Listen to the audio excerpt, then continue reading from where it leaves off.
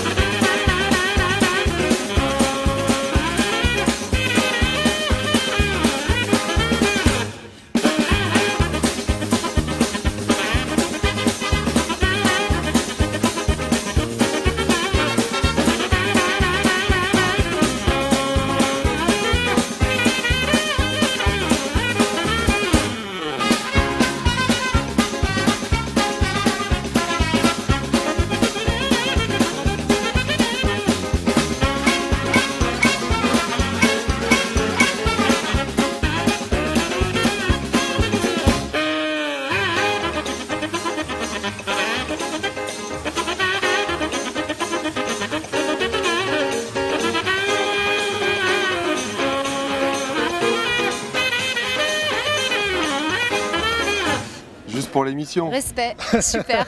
Merci Rémi. C'est à toi Rémi. Allez, c'est parti. Alors pour commencer l'interview, Rémi, euh, j'ai choisi en fait 5 boîtes pour Such Star qui sont complètement à ton image. J'ai choisi 5 boîtes un petit peu euh, survoltées, des boîtes en forme de pile. Comme tu es quelqu'un de plutôt péchu et dynamique, je vais te demander de bien vouloir commencer en ouvrant la première boîte. Et donc tu pioches une question. On est un petit peu comme à la Champions League. Là, c'est toi qui va brasser, qui va qui va choisir ta question ah. et donc tu vas y répondre avec le plus de franchise et de spontanéité. Quel est mon principal alors, quel est le principal trait Quel caractère est celui dont vous êtes le moins fier euh, Alors, mon principal trait de caractère, c'est que je suis très entier. Je suis très direct. Mais c'est pas toujours facile à gérer ça. Attention la casse là, hein, Rémi. Hein. ouais, c'est un peu ça. C'est-à-dire que quand j'ai quelque chose euh, en tête, euh, de manière générale, je le dis et je prends pas trop de gants pour le dire. Et donc, euh, c'est pas que j'en suis pas fier, mais c'est que c'est euh, très compliqué à gérer parce que les personnes en face sont pas toujours à même de pouvoir euh, accepter ça. Voilà. Ça peut être un, défaut, mais une qualité aussi. Je pense que ça peut être une qualité, mais c'est souvent les personnes en face qui sont pas toujours prêtes à, recevoir ça. Voilà. Ok, et celui dont tu es le moins fier euh, Je suis râleur quand même. T'es râleur Oh là là, tu me surprends Râleur, alors comment râleur euh, Au niveau privé, euh, au niveau professionnel Au niveau professionnel, ouais, ouais. Niveau plus au niveau professionnel Ouais, plus au niveau professionnel. Euh, ma vie tous les jours, ça va, je, je, suis assez tranquille. Mais au niveau professionnel, c'est vrai que une défaite peut gâcher une journée. oh là, ces derniers temps, il n'y a pas trop de défaites. Hein. Je crois que l'Olympique Lyonnais est bien reparti. donc, euh... bah, l'entraînement, une défaite à l'entraînement peut changer une journée. ok, j'ai hâte de lire la question. Pour ou contre la chirurgie esthétique Ah, intéressant. euh, tout à fait pour. Tout à fait pour? Ouais. Tu, tu penses que toi, tu pourrais y avoir recours, je sais pas, dans quelques jamais. années Tu sens plutôt pour autant pour les hommes que pour les femmes? Je trouve que c'est une, une chance aujourd'hui qu'on a de pouvoir euh, avoir recours à ça. Et euh, que ce soit pour moi ou quelqu'un d'autre, euh, pouvoir, pouvoir faire en sorte de se sentir mieux dans sa peau, c'est une chance. Ça a certainement un coût aussi, hein, je- j'imagine, mais euh, c'est quelque chose qui, qui peut permettre de se sentir mieux dans ses, dans ses baskets et euh, pourquoi pas. Moi, je n'ai absolument rien contre. Donc, euh, on continue. Que possédez-vous de plus cher? On parle, quoi? On parle de quoi? Comme tu le sens, est-ce que, je sais pas, au niveau, euh, au niveau personnel, au niveau. euh, Ma famille, ta famille? C'est ça. T'es très famille? C'est ce qui compte le plus. Et euh, c'est ce que je protège le plus et, que, et qui, euh, qui, me, qui me fait le plus triper, c'est ça. Tout ce qui est euh, à côté ou autre me, me- m'épanouit pas autant que ce que je peux avoir avec ma famille. Voilà. Tu as des enfants? Oui, deux. Un petit Roméo de 6 ans et une petite fille Stella de 3 ans. Et Roméo, il est passionné de foot comme son papa Il est passionné de foot, il est passionné de basket, il est passionné de sport, quoi, tout simplement. Comme son père, le foot et le basket Exactement, Bah, les chiens ne font pas des chats. C'est sûr. Alors, quatrième question.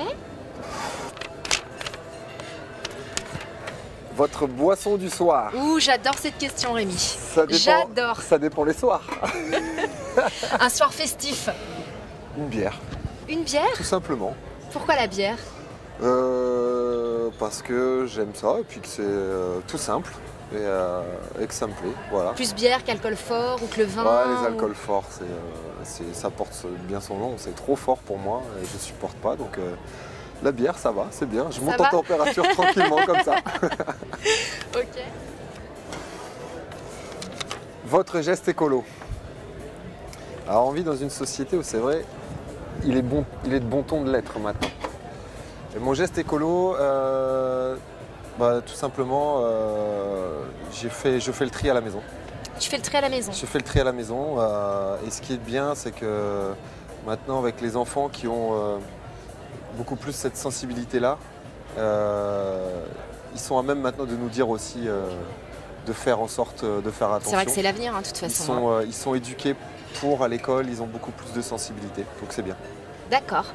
Ok, Rémi. Alors, on va passer désormais à la sixième question. Rémi, je te remercie pour toutes ces réponses. Maintenant, je vais te lancer mon deuxième défi, le deuxième défi de Sophie B. Et je vais te demander en fait de choisir parmi euh, deux défis. Soit tu me racontes une blague drôle, soit tu me fais une grimace, comme tu veux. Une blague drôle ou une grimace? Je peux prendre la grimace, Allez, c'est parti, j'ai hâte de voir ça. mais tu te tournes de l'autre côté. Non, non, je me tourne pas, je vais absolument voir ça. Il est hors de question que je me tourne. Est-ce que je dois la... Est-ce que je dois figer l'image pendant un temps ou je fais vite la grimace après c'est fini? Tu fais comme tu sens. C'est là que je dois la faire. Pas mal, pas mal, pas mal. Bravo Rémi, bravo. Alors Rémi, merci donc pour cette fabuleuse grimace, hein, inoubliable. Je vais te demander maintenant de passer à la deuxième série de questions. Tu constateras cette fois-ci donc qu'on est dans une ambiance plus cool, comme tu es quelqu'un de plutôt rigolo et décontracté. J'ai choisi des boîtes la vache qui rit et donc je vais te demander de bien vouloir piocher euh, la première question dans la première boîte. La vache La vache qui rit. Allez, la première. Êtes-vous plutôt Picasso ou Philippe Stark? Je suis définitivement plus Philippe Stark. Tu aimes le design? J'aime ça, j'aime ça. J'ai acheté une maison il y a maintenant un an et euh, il est bon de, de pouvoir. euh, C'est très contemporain chez toi? Tu oui, étais sensible à très, tout ça? très contemporain et euh, c'est vrai que j'aime, j'aime me perdre un petit peu dans les magasins avec, euh, avec mon épouse pour dire de. T'as un goût pour les formes, les couleurs, des choses Ouais, particulières Ouais, et puis c'est vrai que j'aime bien, j'aime bien tout ça. Donc, quoique les beaux tableaux, c'est toujours sympa. J'ai, eu mon, ma période où j'ai aimé euh, aussi aller visiter les petits musées parisiens, histoire de, ou les grands musées parisiens. Ah, sensibilité artistique alors. Histoire de, ouais, puis c'est toujours intéressant de savoir. Mais euh, non, j'aime le design, j'aime, euh, j'aime savoir et connaître, et euh, c'est toujours sympa d'avoir des beaux objets à la maison. C'est sûr. Alors, on va passer maintenant à la deuxième question. Votre boisson préférée? Eh ben, l'eau. Je sais, c'est pas fun. eh ben, c'est l'eau. Tu es un bon sportif, hein On voit Non, que tu prends soin de euh, toi. Je, tout ce Plate qui ou est, gazeuse tout ce qui est non plate. Plate Mais tout ce qui est, tout ce qui est sucré, euh, ça va Tu deux, un peu ça tout va ça, ouais, t'es minutes. plus. euh, Et puis euh, tout ce qui est alcool, euh, c'est pas non plus très très bon, mais euh, l'eau, euh, ça me va bien. Je trouve que c'est euh, c'est ce qui est de meilleur, quoi. Voilà. Ok. Alors, on passe à la troisième question. Alors. Dans quelle ville aimeriez-vous habiter? Eh ben, Lyon. Lyon, je. C'est une je ville que me- tu affectionnes particulièrement? Ouais, ouais, j'ai euh, pris euh, mes habitudes ici. Je suis pas, je suis pas lyonnais d'origine, mais euh, Au départ, tu es originaire du Nord, je crois oui, de plutôt Dunkerque. Oui, D'accord. tu retournes un petit peu là-bas Très rarement. Très rarement Très rarement. c'est vrai que j'ai un parcours atypique. J'étais dans le football à Dunkerque, j'ai joué à Montpellier pour revenir après à Lyon. Et c'est vrai que je trouve qu'à Lyon, on a tout ce qu'il faut. On est, on est très heureux, euh, ma famille, d'y être, d'y habiter. Et euh, j'ai la chance d'avoir pu euh, prolonger mon contrat jusqu'à à peu près 34 ans. Ouais, 34 ans. Ce qui fait que je vais certainement euh, m'établir ici par la suite. Voilà. Bon, c'est une très bonne chose pour nous, surtout pour cette star. Alors Rémi, maintenant on passe à l'avant-dernière question. Je lis même pas la question. Et je dis non. S'il vous plaît, non. Fabrice Tiozo, non, la boxe Non, j'ai vu son combat quand il est devenu Oui, champion quand du il monde. est devenu champion du monde à Lyon, là c'était en, en Ouais. 2004. J'ai été euh, choqué de la violence des coups. C'est vrai, ça t'a choqué? Ouais, j'ai été impressionné. J'ai euh, j'ai eu des frissons dans le dos euh, tout, le, tout, tout le match. Et c'est pour ça que j'aimerais pas être en face de lui. Est-ce que tu crois qu'on peut faire un parallèle entre le football, la boxe? Est-ce que tu crois qu'il y, a des- qu'il y a des choses qui sont communes? Ouais, y, y euh, il y a une part de, dans tous les sports, il y a, un- il y a une, une espèce de rivalité, de combat qui s'instaure. Mais euh, comme les boxeurs euh, l'ont en termes de violence, je pense qu'on ne peut pas retrouver ça dans le football. C'est Ouais, puis c'est impossible. plus, c'est plus individuel en C'est plus. très c'est- très impressionnant. J'ai- dans l'oreille encore c'est les bruits des coups qui étaient portés. et, euh, ça m'a ça m'a même Ça t'a marqué quoi pas- ouais, ça m'a marqué, choqué même. Ouais, ouais, vraiment. C'était le premier combat de boxe auquel tu Le assistais premier. ou euh, Ouais, c'était ouais, le premier C'était le premier. Premier et le dernier ou? Non, non, pas le dernier, mais euh, avec cette intensité, euh, en tout cas, je pense que j'en revivrai pas. D'accord. Voilà. Et puis dernière question, euh, Rémi. Allez, le dernier.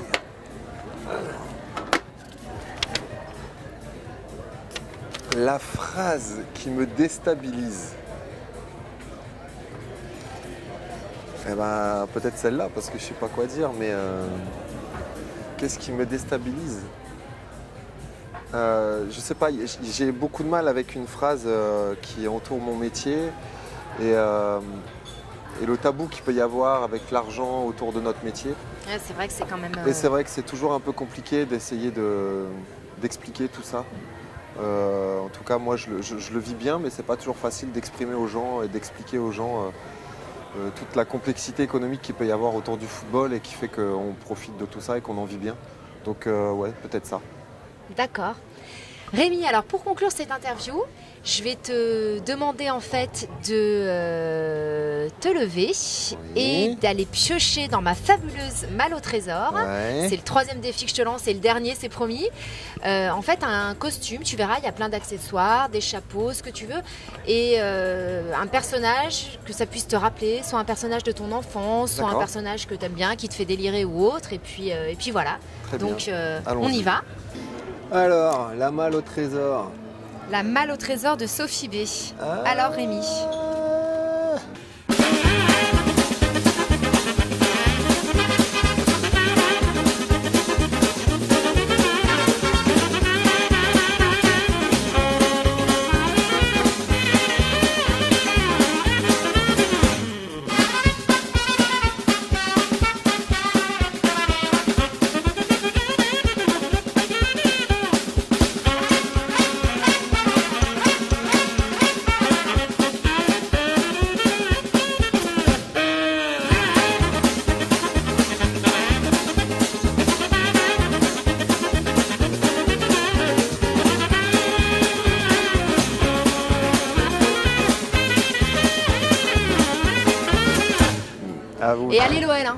forcément. hein. le plus important. Allez l'OL Merci à tous.